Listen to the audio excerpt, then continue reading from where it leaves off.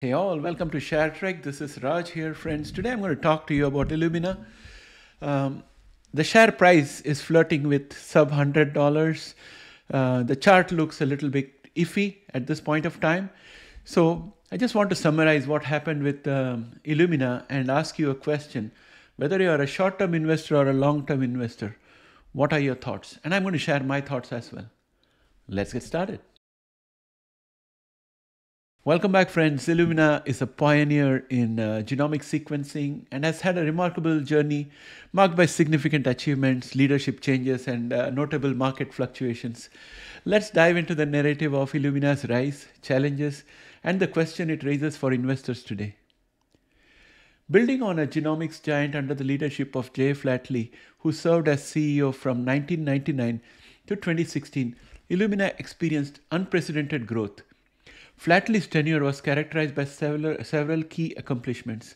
One was revenue growth from 500,000 to a staggering 2.2 billion.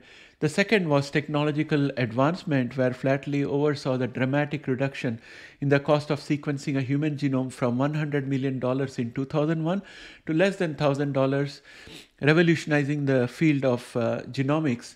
And all this he achieved by 2016.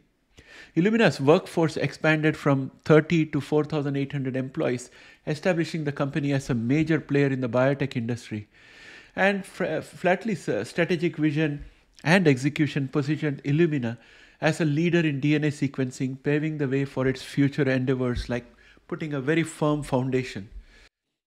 Peaks and valleys in 2016 were very um, moderated. I don't think it was too much, but uh, Flatley probably made the biggest mistake of his career by selecting Francis D'Souza to take over as CEO.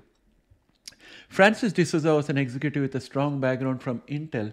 D'Souza was expected to continue Illumina's trajectory of success. Initially, his tenure seemed promising.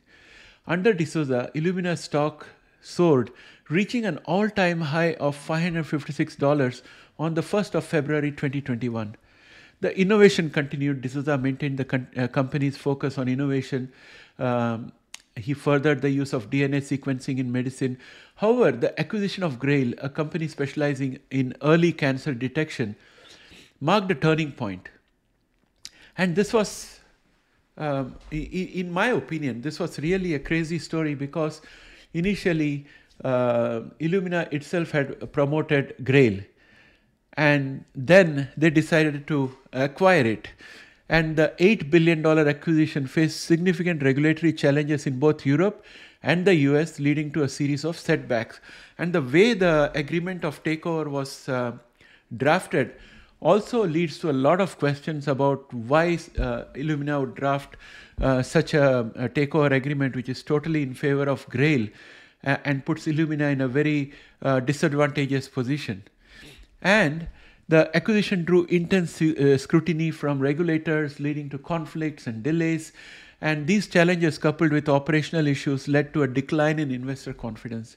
As a result, Illumina's share price, uh, price plummeted, testing the dollar hundred level and potentially dropping below it. The present is a critical juncture. Today, Illumina stands at a very critical juncture, in my opinion, the new CEO, Jacob Thaysen, is at the helm of the company after Jay Flatley uh, handed over the reins to Francis D'Souza. Even though it took uh, he took the company to heights. He also oversaw a rapid decline with a lot of board in uh, fighting and a lot of uh, negative publicity coming both from the European Competition Commission as well as the FTC. And at the time, uh, CEO Jacob Thaysen uh, took over um, uh, still um, uh, we had um, uh, Carl Icahn on the helm of um, activist investors role and uh, he was uh, very unhappy with the way uh, Illumina and its board was functioning. Jacob Thaysen managed to get the endorsement of um, Carl Icahn, and he has laid out the 2024 priorities for the companies, company, which is to focus on increasing revenue, improving operational efficiency, and continuing its innovation streak.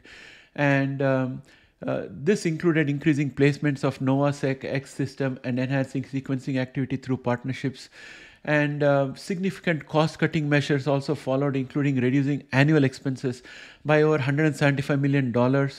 Despite these effect, uh, efforts, the market remains skeptical.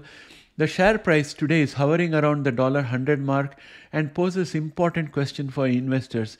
Whether you are a long-term investor or a short-term investor, uh, you cannot uh, afford to avoid Illumina and at the same time, you need to be clear about what to expect from Illumina. In terms of long term prospects, I think Illumina, with its foundational strength in genomic sequencing, is a good uh, purchase at, the, at this lower price. Maybe it could go below by another $10 to make it really attractive for those who are willing to hold it for a long term. And as far as short term investors, uh, the question would be Are there viable opportunities given the current volatility and regulatory changes? So I don't know.